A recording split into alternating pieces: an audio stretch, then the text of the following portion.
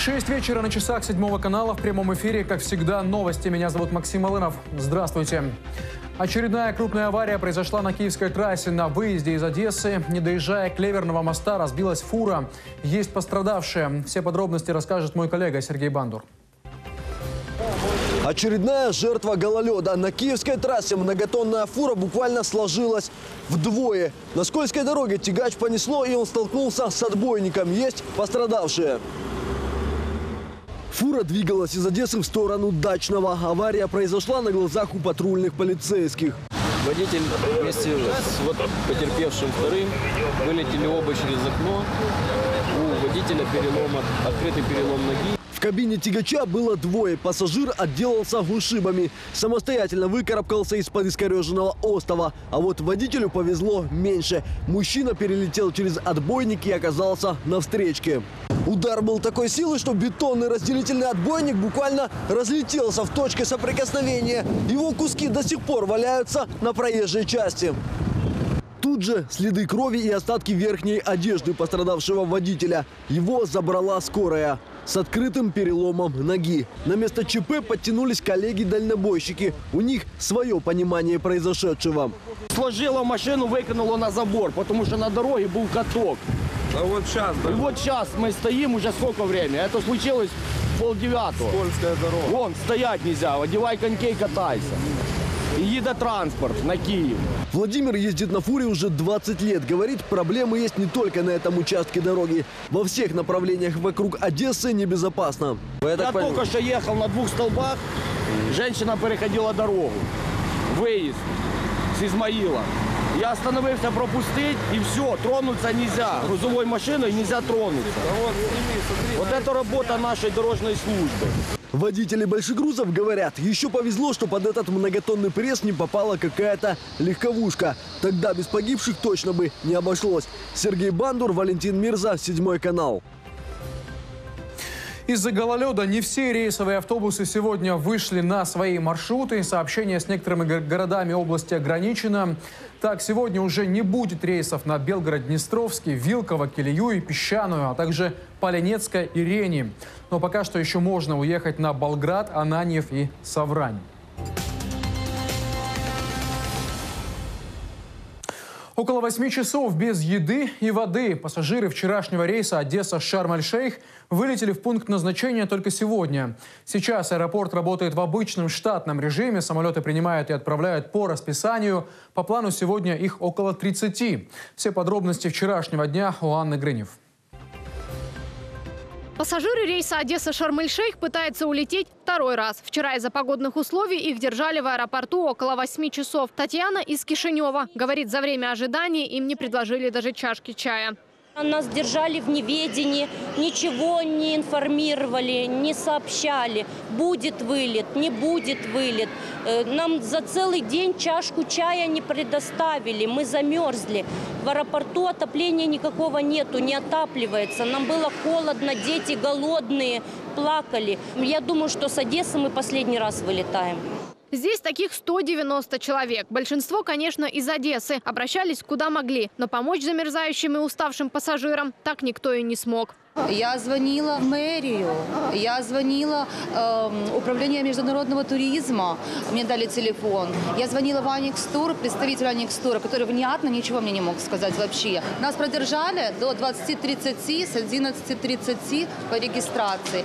Ни обеда, ни горячим чаем. Пресс-секретарь комплекса Мария Попович отмечает, за сохранность пассажиров в непогоду отвечают исключительно авиакомпании. Эта авиакомпания э, занимается пассажирами, мы не можем. Мы, мы касаемся пасс- пассажиров в части вот, задержки рейсов, обеспечения их питанием. Это ответственная зона ответственности авиакомпании. Сейчас Одесский аэропорт работает в обычном режиме. Рейсы принимает и отправляет по расписанию. Хотя из-за сильного ветра один самолет, он летел из Стамбула, не мог сесть около часа, но все-таки приземлился. Напомню, из-за погодных условий аэродром покрылся слоем льда. По этой причине вчера отменили 23 рейса. Анна Грынев, Дмитрий Бондаренко. Седьмой канал. Теплоснабжение города Одессы получит 300 миллионов гривен, будут оплачивать долги, а арендаторам продадут ряд помещений в центре. Сегодня в мэрии прошла очередная сессия, но и, к слову, материалы депутатам прислали только в половине второго ночи. Ну и прямо сейчас в гостях у седьмого телеканала Анна Позднякова, депутат Горсовета. Анна, здравствуйте. Спасибо, что нашли время приехать. Ну, у школе э, уже два дня обсуждаем гололед в Одессе. Вопрос к вам первый. Как доехали? Ну, доехала нормально, дороги относительно не скользкие, можно передвигаться. Намного хуже дела обстоят с тротуарами. Сегодня, правда, ситуация улучшилась. Ну, вот вчера, в первой половине дня, когда пришел этот циклон. А, к сожалению, службы не были готовы. Только после обеда как-то нормализовалась их работа и начали чистить, э, посыпать тротуары. Ну, вы еще посмотрите в нашем эфире чуть позже сюжет про то, как сколько людей пострадали в результате гололеда. Ну, давайте вернемся к сессии. Итак, сессия состоялась. Были ли какие-то спорные вопросы, которые у вас лично вызвали особое внимание? А, сегодня была сессия, как вы уже правильно сказали. А, мне хочется вот отметить э, один э, положительный факт этой сессии. А тот факт, который заинтересует, я думаю, многих предпринимателей города Одессы, это касается а, плательщиков единого налога, которые находятся на первой и второй группе. Одесский городской совет своим решением снизил ставки единого налога для этих категорий. Они в денежном выражении останутся на уровне прошлого года, вне зависимости, несмотря на то, что минимальная зарплата выросла в Украине в два раза снова. Какой размер ставок? А размер ставок, э, я же еще раз говорю, они останутся на уровне прошлого года. Mm-hmm. То есть ставку с 20 мы снизили до 10%, а во второй группе мы брали за основу не минимальную заработную плату, а прожиточный минимум. Поэтому в денежном выражении налоги останутся прежние. Это вот тот, э, я думаю, приятный момент, который порадует многих одесситов. Но не обошлось э, без, как вы, э, как вы говорите, без острых вопросов, потому что действительно в полвторого ночи э, нам разослали порядка 20 вопросов. Кстати, это правда в полвторого было? Да, это действительно было в половине второго ночи. Как вы думаете, можно ли было с ними ознакомиться и дать какой-то ну, анализ? Этого, понятное дело, не было. А, многие коллеги наши голосовали вслепую, а, поэтому качество этих проектов, я думаю, оставляет желать лучшего. А, возможно, конечно, они очень они прекрасны, но разобраться с ними не представляло никакой возможности. Они не были представлены ни на согласительном совете, ни в момент, когда у нас проходили заседания фракции, то есть мы не обсуждали эти вопросы, соответственно, мы не голосовали.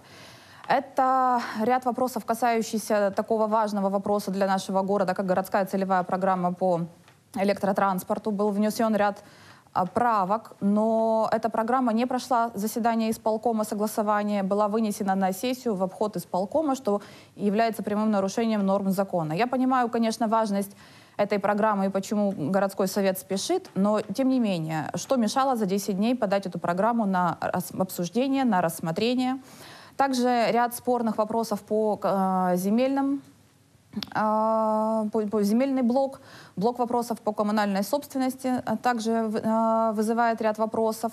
Уже давно часть наша фракция и другие коллеги настаивают на проведении аукционов в городе, когда бы коммунальная собственность продавалась с аукциона, а не вот как на этой сессии Бунина 40, практически за 300 долларов квадратный метр в центре города мы продали. Но Потрясающе. В Одессе, оказывается, такие цены есть на центральную недвижимость. Я вам скажу, что как минимум один плюс есть. Оказывается, в мэрии работают круглосуточно, раз полвторого рассылают вам такую информацию. Действительно, как оказалось, круглосуточно, но не могу позавидовать сотрудникам, которые э, в нарушении трудового кодекса, к сожалению, находились на рабочем месте и должны были утром снова прийти выполнять свои обязанности. Анна, спасибо большое. Я передаю Вам эстафету спасибо. моему коллеге Игорю Хмурому, который сразу же по окончанию новостей сразу же будет обсуждать тему сегодняшнего, сегодняшней сессии подробно и по порядку вместе с моей гостьей Анной Поздняковой. Сразу же после новостей не переключайтесь и не пропустите. Ну а сейчас мы продолжаем выпуск. Информация об одесситах, травмированных за, на скользких улицах. За последние сутки в травмпункты обратилось 183 человека. 26 из них госпитализированы. Опасных повреждений, которые угрожают жизни, ни у кого из них, к счастью, нет. Но, как отмечают сами пациенты, одесских поликлиник и больниц из-за большого количества людей с переломами и ушибами в очереди в среднем приходится проводить около часа.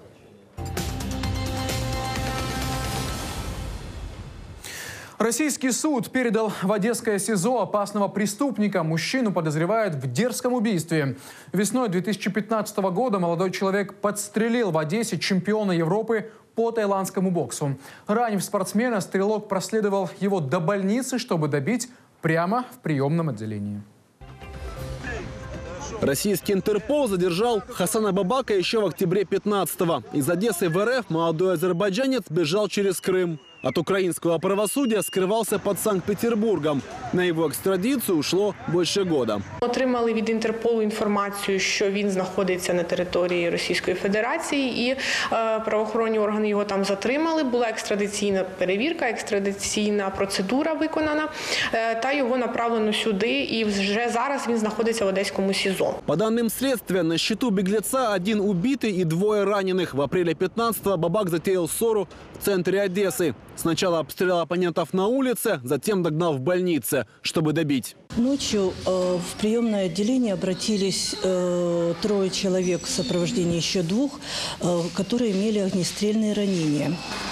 Когда им оказывали медицинскую помощь, э, сюда, ну это минут через 10, ворвалась э, группа лиц, и один из них открыл стрельбу по одному из э, стоявших в коридоре э, этих пострадавших. Жертвы стрелка – чемпион Европы по тайландскому боксу Сергей Лащенко и его товарищи. Стрельба началась во время криминальных разборок, на которые спортсмен приехал в качестве силовой поддержки. После его гибели в Одессе за ночь сгорели два кавказских ресторана. По одной из версий – это месть за смерть боксера. Константин Га, Константин Лужневский, Седьмой канал. В центре Одессы очередной обвал. На улице Канатной 5 обрушилась часть фасада трехэтажного жилого дома. Куски бетона и лепнины завалили весь тротуар под зданием. Никто, к счастью, не пострадал, но коммунальщики и спасатели до сих пор не разобрали камни, а люди обходят дом по проезжей части. На месте событий, как всегда, первой побывала моя коллега Юлия Федорова. Канатная 5. Здесь находится доходный дом биржевой артели. Он построен в конце 19 века архитекторами Анатолием Добровольским и Сергеем Шведовым. Здание является памятником архитектуры местного значения.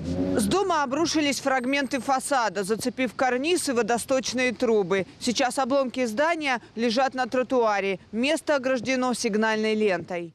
Последний капитальный ремонт здесь делали почти полвека назад. Ни фасады, ни балконы тогда не трогали. Жильцы рассказывают, что старинное здание давно разваливается по частям. Как-то кусок карниза упал на припаркованный под домом автомобиль. А обвал серьезный. Это же разрушается стена, подтекает вода. Это же ракушечник. Значит, будет разрушение идти из середины. Будет грибок, будет дом рушиться. Вот и все. Карнизы сверху, это падает уже несколько лет. Как ураган, ветер, дождь. Здесь постоянно лежит кучки, лежат кучки. Местные жители уверены, что целостность конструкции старого здания нарушила самовольная надстройка. И теперь он стал рассыпаться. Прошлом году на крыше дома появилась дополнительная надстройка. Хотя по закону вносить изменения в конструкцию памятника архитектуры можно только по согласованию с управлением по охране объектов культурного наследия. Регулярные потопы из-за дырявой крыши и обвалы фасадной части не дают местным жителям расслабиться. Они долго писали письма одесским коммунальщикам, а чиновники постоянно обещали отреставрировать дом. Но ничего так и не изменилось. Памятник архитектуры продолжает разрушаться. Юлия Федорова, Валентин Мирза, Седьмой канал. С одесской зоозащитницей хотят взыскать 60 тысяч гривен в качестве морального ущерба. Двое мужчин подали иск на активистку Викторию Казаченко. Женщина обвиняет в том, что она якобы незаконно причислила их к числу док-хантеров. Отстаивают свои честь и достоинства через суд.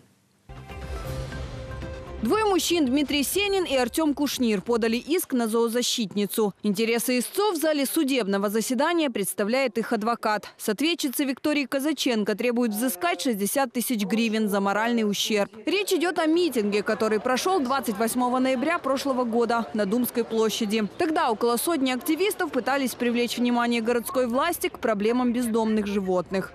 В ході цього зібрання були використані фотографії позивачів з відповідним написом під ними «Убійць можна знати в лицо». Також відповідач та люди, які брали участь у мітингу, безпідставно звинуватили е, Кушніра та Сініну у вбивствах безпритульних тварин, зарахувавши їх до лав так званих докхантерів. Активисты говорят, что не знают истцов. На этом митинге иди знай, кто с какой фотографией пришел и с какой целью. Потому что очень многие люди действительно не знали друг друга в лицо. Приходили те, кому не безразлична эта тема. А учитывая, что это не закрытое мероприятие, открытое, то, понятное дело, организаторы не могут уследить. Зоозащитница утверждает, что и сама страдает от нападок докхантеров. Говорит, ей и ее семье угрожают. Выпад со стороны людей, которым не нравится моя зоозащитная деятельность, я не буду говорить, это эти люди или другие.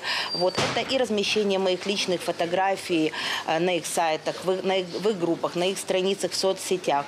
То есть давление на меня э, с помощью смс-сообщений, с помощью телефонных звонков, угрозы, угрозы моей несовершеннолетней дочери. Кроме морального ущерба, истцы требуют, чтобы зоозащитница вышла на Думскую с их фотографиями и надписью, что они не являются убийцами животных. Заседание перенесли на 14 марта. Будут слушать свидетелей по делу. Ольга Голодова, Алексей Филиппов, Седьмой канал. Последние два дня очень богаты различными природными явлениями. Но вот юг снова затрясло. В обед жители Одесской области почувствовали небольшие толчки отголоски землетрясения в Румынии. Эпицентр находился э, в 4 километрах от города Нережу на глубине 130 километров в сейсмоактивной зоне в Ранче. Интенсивность составила 4,4 балла. Я напомню, что последнее землетрясение в Одессе почувствовали 28 декабря прошлого года. Тогда сила толчков составила 5,5 балла по шкале Рихтера на глубине 95 километров. А тем временем в Одессу приехал известный украинский поэт и музыкант Сергей Жадан. В «Импакт-хабе» состоится презентация его книги «Тамплиеры». Это собрание стихотворений, написанных под впечатлением от событий на востоке нашей страны. Иллюстрации книги делал одесский художник Александр Ройтбурт. Туди війшли вірші, от написані протягом останнього року півтора, 39 текстів.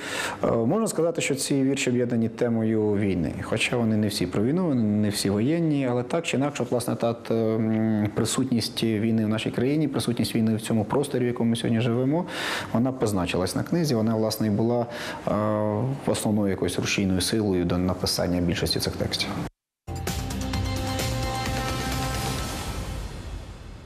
На этом с новостями у нас пока все. Напоминаю, что сразу же по окончанию новостей в эфир выйдет проект «Вечер на седьмом», где мой коллега Игорь Хмурый обсудит вместе с гостями итоги сегодняшней сессии городского совета. Будет интересно, не пропустите. Ну а мы с вами встретимся в 8 вечера. Тогда мы подведем итоги уходящего дня.